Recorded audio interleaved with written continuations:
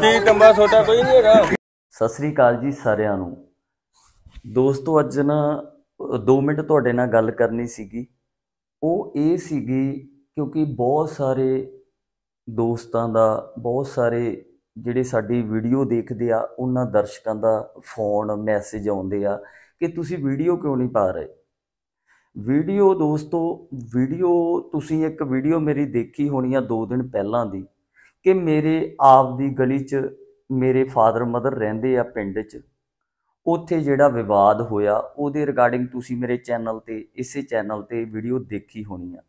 ਉਹ ਐ ਸੀਗਾ ਕਿ ਇੱਕ ਬੰਦਾ ਜਿਹੜਾ ਸਾਡੇ ਗਲੀ 'ਚ ਹੀ ਰਹਿੰਦਾ, ਉਹ ਨਜਾਇਜ਼ ਕਬਜ਼ਾ ਕਰ ਰਿਹਾ ਗਲੀ ਦੇ ਵਿੱਚ। ਗਲੀ ਦੇ ਵਿੱਚ 8-10 ਘਰ ਰਹਿੰਦੇ ਆ। ਉਹ ਸਾਰੇ ਘਰ ਮਤਲਬ ਕਿਸੇ ਨੂੰ ਜਿਉਣ ਦਾ ਹੱਕ ਨਹੀਂ, ਹੋਰ ਕਿਸੇ ਨੂੰ। ਮਤਲਬ ਜੇ ਗਲੀ ਚੌੜੀ ਆ ਤਾਂ ਇੱਕ ਬੰਦੇ ਦਾ ਹੱਕ ਹੈਗਾ ਕਬਜ਼ਾ ਕਰਨ ਦਾ। ਜੇ ਮੰਨ ਲਓ ਗਲੀ 60 70 ਸਾਲ ਤੋਂ ਚੱਲ ਰਹੀ ਆ, ਇੱਕ ਬੰਦਾ ਕਿਵੇਂ ਗਲੀ ਤੇ ਕਬਜ਼ਾ ਕਰ ਸਕਦਾ? ਇਹ ਕਦੇ ਨਹੀਂ ਹੋ ਸਕਦਾ। ਤੇ ਦੂਜੀ ਗੱਲ ਇਹ, ਅਸੀਂ ਵੀਡੀਓ ਪਾਵਾਂਗੇ ਦੋਸਤੋ, ਇਧਰੋਂ ਫ੍ਰੀ ਹੋ ਗਏ। ਵਿਵਾਦ ਖਤਮ ਹੋ ਗਿਆ ਤਾਂ ਵੀਡੀਓ ਜ਼ਰੂਰ ਆਉਣੀ ਆ। ਦੂਜੀ ਗੱਲ ਇਹ ਕਿ ਜਦੋਂ ਅਸੀਂ ਪ੍ਰਸ਼ਾਸਨ ਦੀ ਮਦਦ ਨਾਲ ਤੇ ਗਲੀ ਵਾਲਿਆਂ ਦੀ ਮਦਦ ਨਾਲ ਇਹ ਨਜਾਇਜ਼ ਕਬਜ਼ਾ ਰੋਕਿਆ, ਤਾਂ ਇਹਨਾਂ ਨੇ ਗੇਜਾ ਗਰਮੇਸ਼ ਸਿੰਘ ਜਿਹਨੂੰ ਗੇਜਾ ਕਹਿੰਦੇ ਆ ਤੇ ਇੱਕ ਇਹਨਾਂ ਦਾ ਭਰਾ ਬੂਟਾ ਸਿੰਘ, ਇਹਨਾਂ ਨੇ ਜਦੋਂ ਕਬਜ਼ਾ ਹਟਾਇਆ, ਅਸੀਂ ਰੋਕਿਆ ਕਿ ਕਬਜ਼ਾ ਨਹੀਂ ਕਰਨਾ, ਤਾਂ ਅਸੀਂ, ਮੈਂ ਆਪਦੀ ਵੀਡੀਓ ਬਣਾ ਰਿਹਾ ਸੀ, ਕੈਮਰਾ ਸੀਗਾ ਔਨ ਤੁਸੀਂ ਦੇਖ ਲਿਓ ਵੀਡੀਓ, ਇਸੇ ਵੀਡੀਓ 'ਚ ਤੁਹਾਨੂੰ ਸਾਰੀ ਦਿਖਾਉਂਗਾ ਕੈਮਰਾ ਸੀਗਾ ਔਨ ਇਹ ਦੋਨੇ ਭਾਈ ਆਏ ਕੁਝ ਹੋਰ ਬੰਦੇ ਵੀ ਸੀ, ਪਤਾ ਨਹੀਂ ਕਿੰਨੇ, ਪੂਰਾ ਇਹਨਾਂ ਦਾ ਟੱਬਰ ਸੀਗਾ, ਸਾਰੀਆਂ ਜਨਾਨੀਆਂ। ਇਹਨਾਂ ਦੇ ਹੱਥ ਤੁਸੀਂ ਦੇਖਿਓ ਜਿਹੜਾ ਬੂਟਾ ਸਿੰਘ, ਉਹਦੇ ਹੱਥ ਕਹੀ ਸੀਗੀ, ਠੀਕ ਹੈ, ਇਹਦਾ, ਇਹਦੇ ਭਰਾ ਦੇ ਹੱਥ ਕੁਲਾੜੀ ਸੀਗੀ, ਇਹਨਾਂ ਦੇ ਸਾਰੇ ਪਰਿਵਾਰ ਦੇ ਹੱਥ ਹਥਿਆਰ ਸੀਗੇ, ਮਤਲਬ ਕਿਸੇ ਕੋ ਕਿਰਪਾਨ ਸੀ, ਕਿਸੇ ਕੋ ਕੁਛ ਸੀਗਾ। ਇਹ ਮੇਰਾ ਕੈਮਰਾ ਨਾ ਆਨ ਹੁੰਦਾ ਤਾਂ ਇਹਨੇ ਮੇਰੇ ਕਈ ਮਾਰਨੀ ਸੀਗੀ। ਮੰਨ ਲਓ ਕਹੀ ਵੱਜ ਜਾਂਦੀ, ਮੇਰਾ ਜਾਨੀ ਨੁਕਸਾਨ ਹੋ ਜਾਂਦਾ ਕਿਉਂਕਿ ਮੇਰੀ ਹੈਲਪ ਉਦੋਂ ਗਲੀ ਵਾਲਿਆਂ ਨੇ ਕੀਤੀ। ਮੰਨ ਲਓ ਮੇਰੇ ਤੇ ਜਾਂ ਗਲੀ ਵਾਲਿਆਂ ਦਾ ਕੋਈ ਵੀ ਜਾਨੀ ਨੁਕਸਾਨ ਹੋ ਜਾਂਦਾ ਤਾਂ ਜ਼ਿੰਮੇਵਾਰ ਕੌਣ ਸੀਗਾ? ਇਹ ਦੋਨੇ ਭਰਾ ਸੀਗੇ, ਗਰਮੇਸ਼ ਸਿੰਘ ਤੇ ਬੂਟਾ ਸਿੰਘ। ਤੁਸੀਂ ਦੇਖੋ, ਉਹ ਉਹ ਸਾਰੀ ਵੀਡੀਓ ਤੁਸੀਂ ਦੇਖ ਲਿਓ ਵੀ ਇਹ ਕਹੀ ਮਾਰਨ ਲੱਗਾ, ਫਿਰ ਇਹਦੇ ਭਰਾ ਕੋ ਕਲਾੜੀ ਸੀਗੀ। ਇਹ ਕਲਾੜੀ ਲੈ ਕੇ ਪੈਂਦਾ ਰਿਹਾ। ਫਿਰ ਇਹ ਗੇਜਾ ਸਿੰਘ ਨੇ ਇਹ ਗੱਲ ਕਹੀ ਕਿ ਜੇ ਮੈਂ ਜੇ ਮੈਂ ਇਹਨੂੰ ਮਾਰ ਦਵਾਂ ਤਾਂ ਕੋਠੀ 'ਚ ਕਬੂਤਰ ਬੋਲਣਗੇ। ਇਹ ਜਿਉਣ ਮਾਰਨ ਦਾ ਹੱਕ ਇਹਨੂੰ ਕਿੰਨੇ ਦਿੱਤਾ?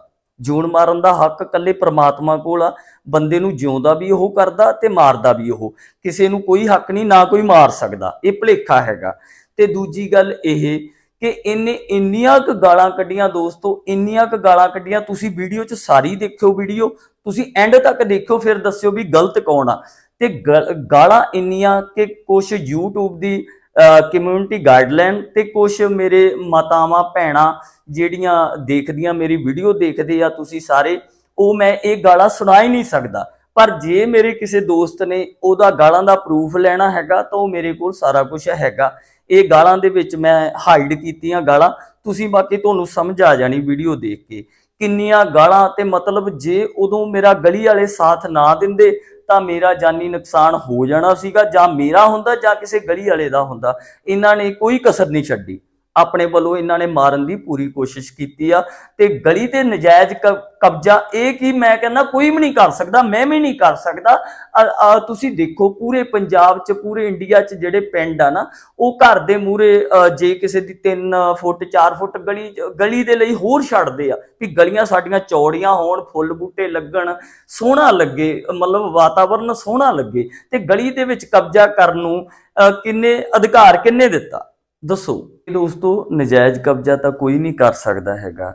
ਤੇ ਦੂਸਰੀ ਗੱਲ, ਇਹਨਾਂ ਦੋਵਾਂ ਭਰਾਵਾਂ ਨੇ ਗਰਮੇਵ ਸਿੰਘ ਤੇ ਬੂਟਾ ਸਿੰਘ ਨੇ ਕੋਈ ਕਸਰ ਨਹੀਂ ਛੱਡੀ। ਇਹ ਜਿਹੜੀਆਂ ਗਾਲਾਂ ਕੱਢੀਆਂ ਇਹਨਾਂ ਨੂੰ ਜੇ ਗੁੜਤੀ ਦੇ ਵਿੱਚ ਗਾਲਾਂ ਮਿਲੀਆਂ, ਮੇਰੀ ਗੱਲ ਸੁਣੋ। ਜੇ ਗੁੜਤੀ 'ਚ ਗਾਲਾਂ ਮਿਲੀਆਂ ਤੇ ਕਿਸੇ ਨੂੰ ਅਧਿਕਾਰ ਨਹੀਂ, ਆਪਦੇ ਪਰਿਵਾਰ 'ਚ ਗਾਲਾਂ ਕੱਢੋ, ਕਿਸੇ ਨੂੰ ਅਧਿਕਾਰ ਨਹੀਂ, ਕਿਸੇ ਨੂੰ ਗਾਲ ਕੱਢਣ ਦਾ। ਇਹਨਾਂ ਗਾਲਾਂ ਕੱਢੀਆਂ, ਤੁਸੀਂ ਸਾਡਾ ਦੇਖੋ, ਅਸੀਂ ਚੁੱਪ ਸੀਗੇ, ਅਸੀਂ ਆਪਦੀ ਵੀਡੀਓ ਬਣਾ ਰਹੇ। ਤੇ ਇਹਨਾਂ ਨੇ ਕੋਈ ਕਸਰ ਨਹੀਂ ਛੱਡੀ ਗਾਲਾਂ ਤੋਂ, ਇਹਨਾਂ ਨੂੰ ਕਿੰਨੇ ਅਧਿਕਾਰ ਦਿੱਤਾ ਗਾਲਾਂ ਕੱਢਣ ਦਾ? ਠੀਕ ਹੈ ਨਾ? ਇੰਨੀਆਂ ਗਾਲਾਂ ਕੱਢੀਆਂ, ਫਿਰ ਕੀ ਹੋਇਆ? ਕਿ ਗਾਲਾਂ ਕੱਢਦੇ ਕੱਢਦੇ ਇੱਕ ਗਲੀ ਵਾਲਾ ਸਾਡੇ ਚਾਚਾ ਜੀ ਆ ਉਹ ਮਤਲਬ ਅੰਮ੍ਰਿਤਧਾਰੀ ਸਿੱਖ ਆ ਜੀ।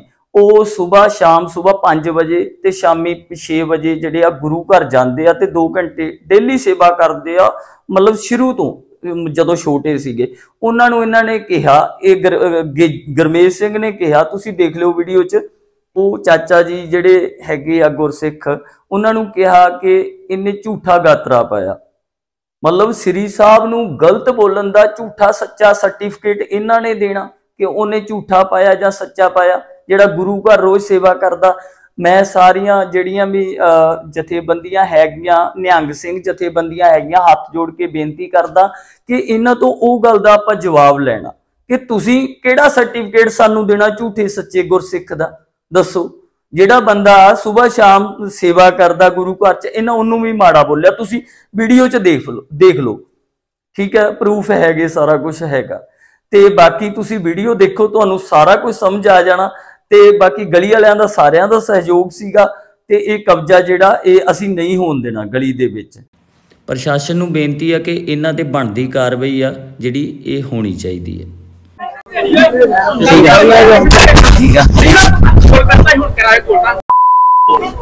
ਗੰਦ ਪਾਇਆ ਤੁਸੀਂ ਤੁਹਾਡਾ ਇਹ- ਇਹਦੇ ਵਿੱਚ ਬੂਹਾ ਹੀ ਨਹੀਂ ਆ ਕੰਧੀ ਨਹੀਂ ਇੱਥੇ ਨਾ ਸਾਡਾ ਘਰ ਕੋਈ ਗਲੀ ਚ ਦੱਸੋ ਕਿਹਦਾ ਬੂਹਾ ਹੈਗਾ ਇੱਥੇ ਤੇਰਾ ਇੱਥੇ ਕੀ ਆ ਹਾਂ ਨਹੀਂ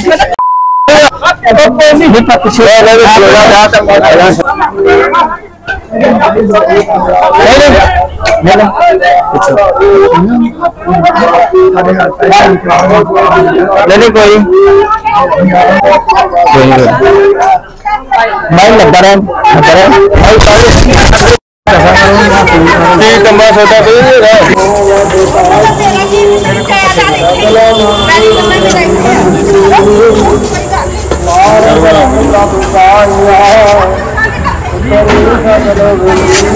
subscribe ਸੋਨੂੰ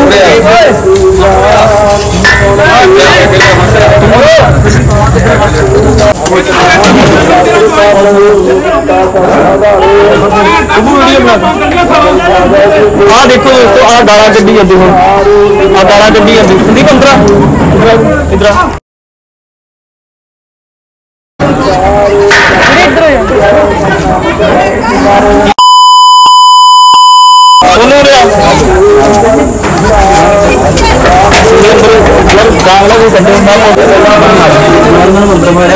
ਗਾਲਾਂ ਵੀ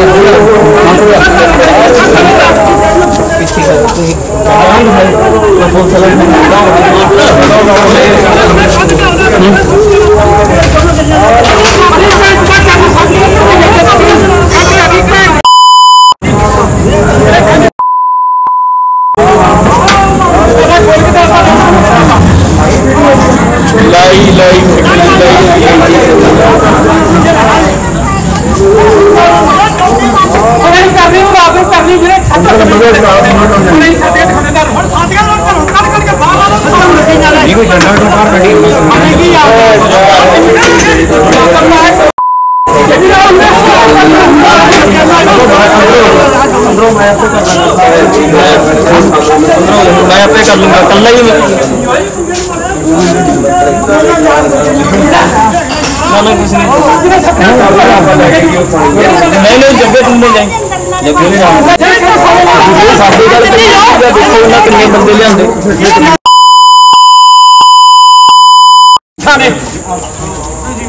ਖੱਤਰ ਚਲੋ ਅੰਦਰ ਚੱਲੋ ਯਾਰ ਤੁਸੀਂ ਅੰਦਰ ਚੱਲੋ ਅਸੀਂ ਕਿੱਥੇ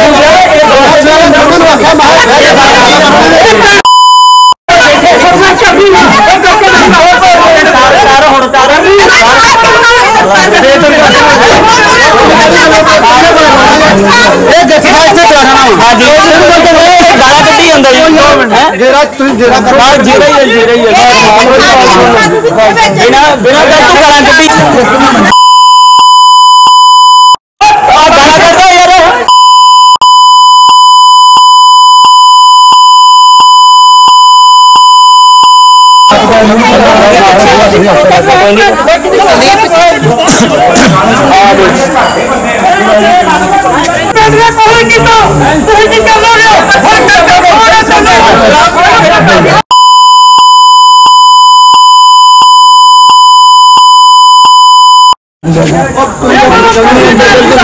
ਗੁੱਸਾ ਨਾ ਲੱਗਿਆ ਇਹ ਗੱਲ ਨਿਕਲਦੀ ਆ ਹਾਂ ਗੱਲ ਸਾਰਾ ਕੁਝ ਜੇ ਤੁਸੀਂ ਕਹੋ ਸਾਰਾ ਅਸੀਂ ਚੱਲਣਾ ਬੰਦੇ ਪੰਜਾਬ ਮੈਂ ਅੰਦਰ ਚੱਲੂਗਾ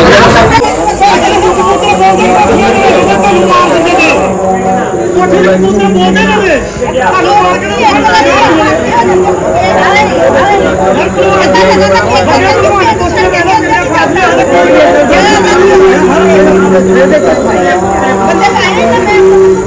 ਹੁਣ ਤੇਰਾ ਕੋਈ ਗੱਲ ਕਰਨੀ ਤੇਰਾ ਰਾਤ ਨੂੰ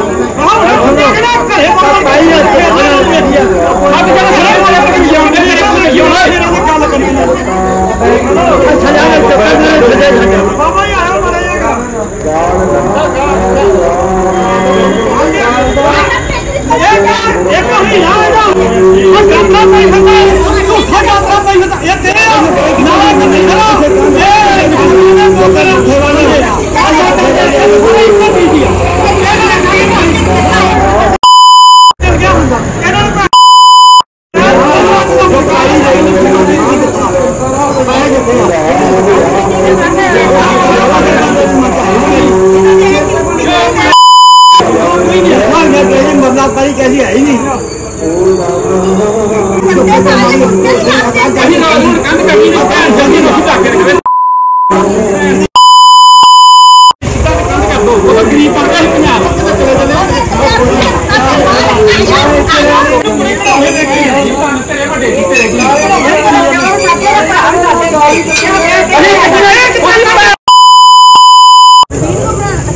ਜੋ ਮਰਜ਼ੀ ਬਣਾ ਆਪਣਾ ਮੁੱਦੇ ਬਣਾਉਂਦੇ ਵੀਡੀਓ ਬਣਦੀ ਵੀਡੀਓ ਬਾਹਰ ਨਿਕਲਦੀ